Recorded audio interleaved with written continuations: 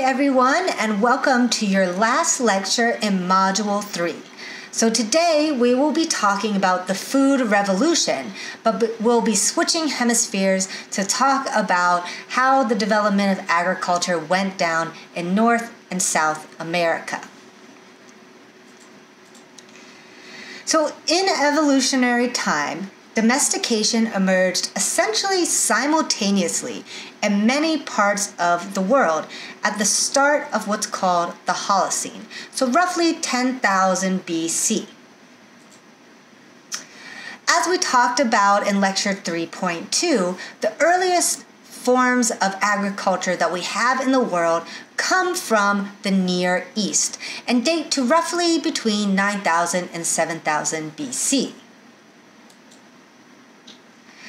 Following on the tales of the development of agriculture in the Near East, we have we see the appearance of domestication in central Mexico around about 7000 BC. And then in China, particularly along the Yangtze River, by roughly 6500 BC. Followed by evidence in South America as well as in the eastern United States. A recent bit of evidence has shown that there's actually evidence for much earlier forms of domestication, particularly of taro and yam, in Papua New Guinea than had ever been imagined before. So there are many lines of evidence that archaeologists have drawn on to document these simultaneous domestication efforts across the world. Mapping the distribution of wild progenitors is one strategy that was developed by Nikolai Vav- Vavilov, a Russian botanist and geneticist. Vavilov sought to, to study the history of domestication as a way of addressing famine in Stalinist Russia and elsewhere. To do so, he created a massive seed bank that Hitler actually attempted to steal. One of the major contributions of Vavilov's research was to point out the various different ways in which domestication likely occurred. So he said that he reasoned that a domesticate likely originated in an area where it is currently grown naturally, its wild ancestors are also present, and its wild ancestors exhibit high natural diversity.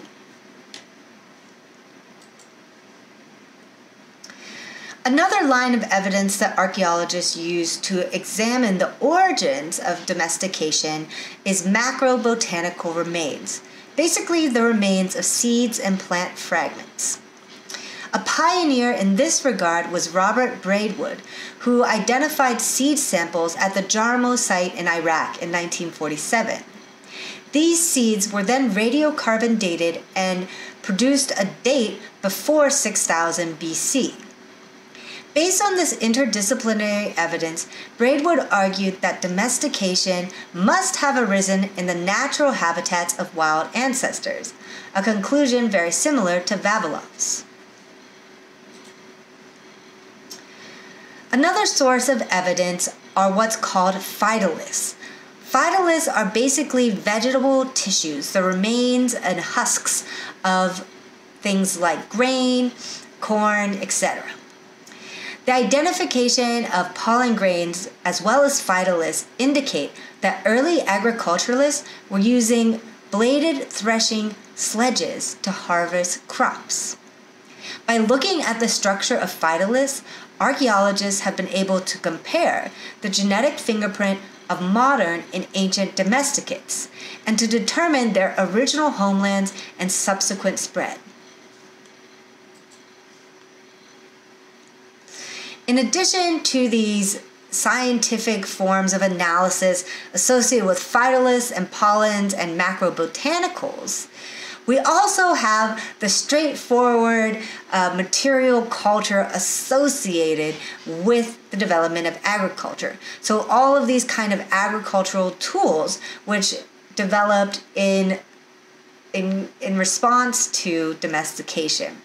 So things like these threshing sledges, which you see uh, on the slide behind me, um, as well as uh, large ground stones for digging, uh, knives for cutting, all sorts of implements like this.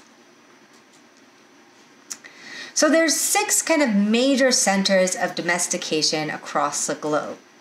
As we talked about in lecture 3.2, Southwest Asia has the earliest archaeological evidence for domestication, particularly of crops like wheat, barley, lentils, as well as animals like sheep, goat, and pigs. Another early area for domestication is East Asia, but the crops here for domestication are slightly different, with a focus on millet and rice, as well as the domestication of chickens and pigs, rather than things like wheat. We also have evidence for early domestication in Africa.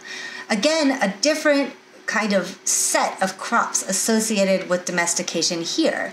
Things like rice, sorghum, and millet. If we move into the Americas, we have early evidence for agriculture in places in the eastern uh, United States, particularly of things like goosefoot and marsh elder. We also have evidence in the North American Southwest and moving into Mesoamerica of, of crops like gourds and squash, beans, corn, as well as the domestication of birds like turkeys.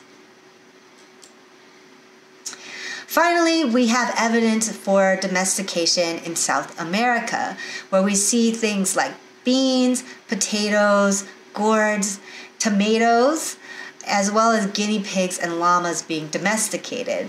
And what's really amazing about this domestication process, I think, in South America in particular, is that you see the early cultivation of things like tomatoes, which we often associate with uh, foods in Europe, like Italian food, right?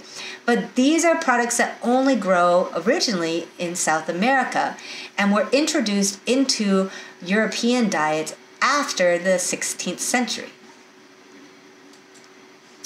So, in what remains of our class today, I really want to focus on domestication in North America. So, there's evidence for domestication, particularly in the North American Southwest, that dates to about 10,000 BC when we see a kind of critical transition from a hunting gathering lifestyle into a more sedentary and agricultural producing subsistence system.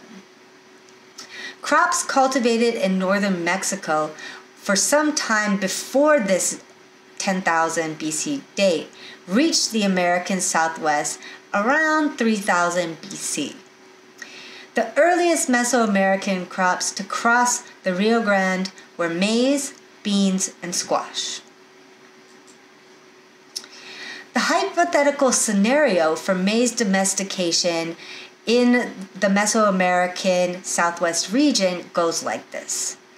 Basically, sometime between 1300 and 6000 years ago, wild teosinte was transformed into primitive corn through unintentional human selection. Gathering teosinte would lead to selective pressures for harvestable types of grass, with spikes shrunken into bunches. So you can see in the image behind me, on the left is a teosinte seed, and on the right is a fully cult domesticated version of corn. So these bunches of teosinte would have made it harder for the seeds to scatter. These kind of plant colonies, teosinte colonies, would diverge towards greater domestic kinds of variation, from which humans could select the most useful types. Over time, this form of teosinte would become established by campsites and in abandoned middens or trash pits near settlements. Humans would remove weeds from these teosinte plant colonies and then begin to kind of deliberately plant the more useful types. This process is what converted the hard fruit cases of the teosinte grass into shallow, softer cups that carried elongated husks, enclosing and protecting the corn kernels. So, human intervention with the teosinte plant would have had the following effects. They would have selected for semi tough rachises, which are the stalks that connect the grain um, to the actual stem. They would have selected for thin glumes and husks, which would allow for easy peeling and access to the grains. They would select for larger and more seeds to intensify uh, the, the amount of yield from any given um, harvest. They would also uh, select for the kind of natural seeding ability. So, for plants that are most effective at distributing and growing their own seeds.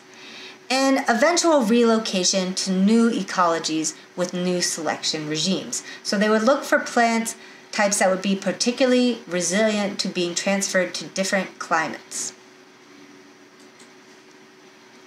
So, maize farmers of northern Mexico probably had sporadic contact with hunter gatherers living in the deserts to their immediate north.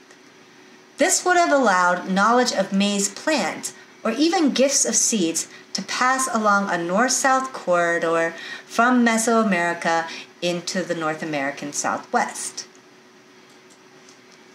Between 2500 and 100 BC, the southwestern climate was relatively stable, but rainfall patterns were unpredictable.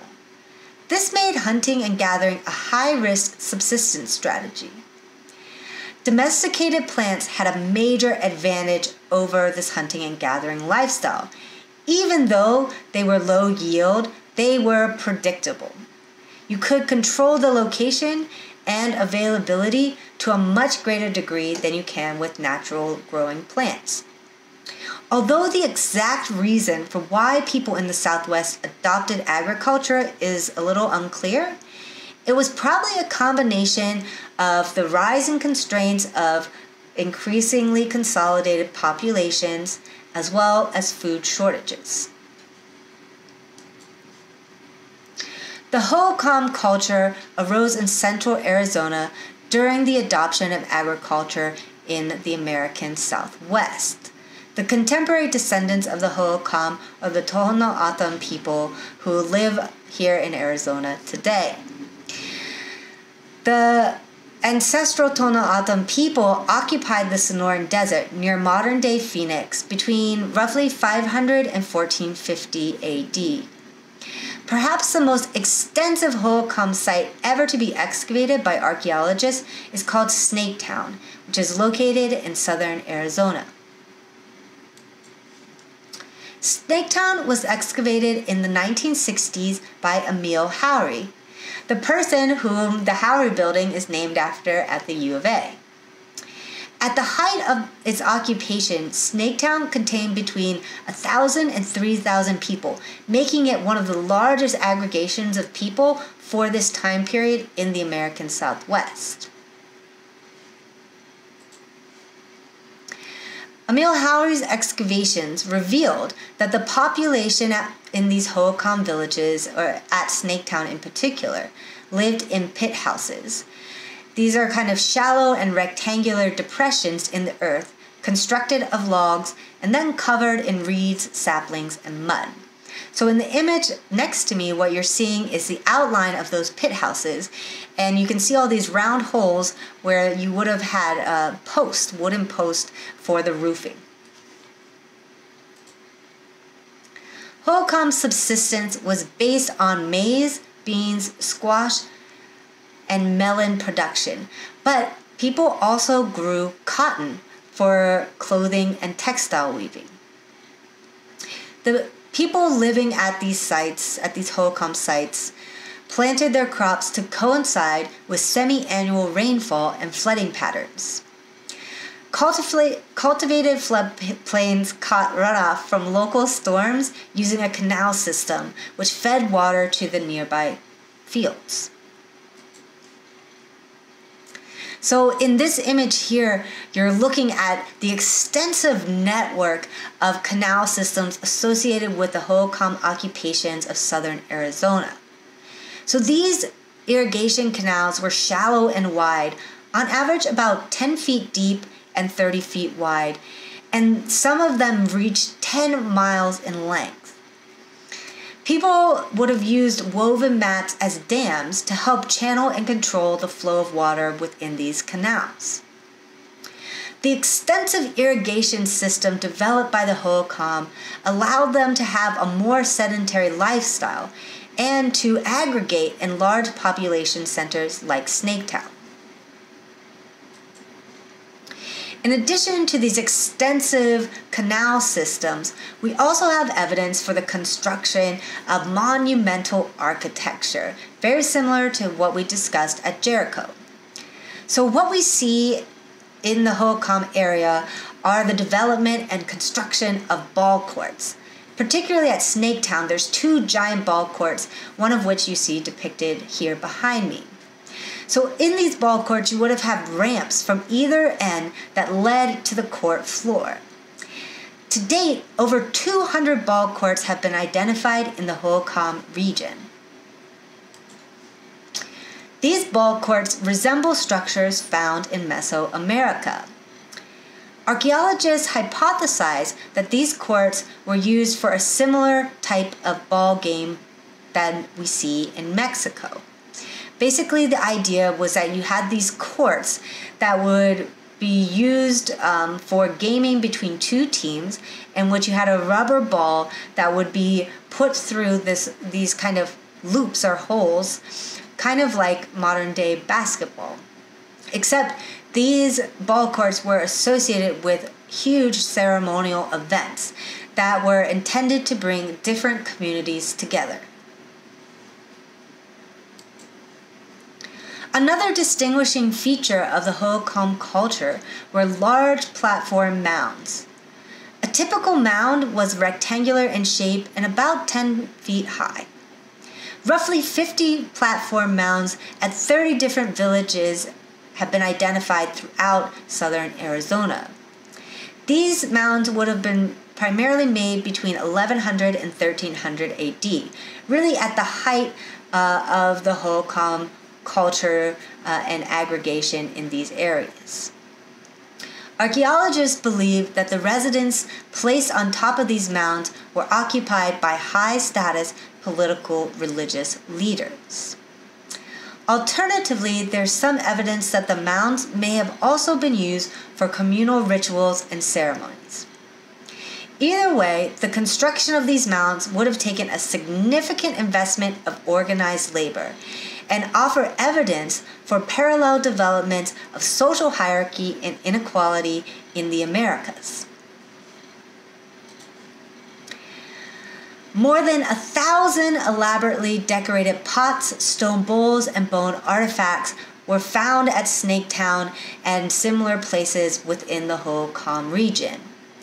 These ceramics were constructed from brown clay and often decorated with red geometric designs, like the one behind me. Artifacts from Hohokam sites such as Snaketown suggest that Hohokam people were regularly trading and interacting with people outside of the Southwest.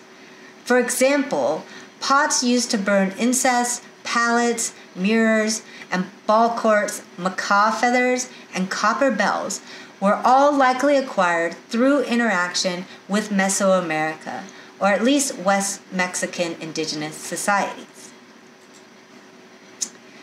Excavations of the Casas Grande site in Chihuahua, Mexico points to a mutual exchange with Hohokam peoples. So here in Mexico, we have evidence of, turquoise as well as distinctive painted pottery from the Southwest. In contrast to the earlier adoption of agriculture, these objects represent the adoption of Mesoamerican ideology rather than direct migration. In Module 4, we'll continue our discussion of the rising levels of surplus, exchange, hierarchy, and social complexity among ancient societies in Southeast Asia and China. And then dive in to a more elaborate discussion of what's going on in the Americas in Module 5.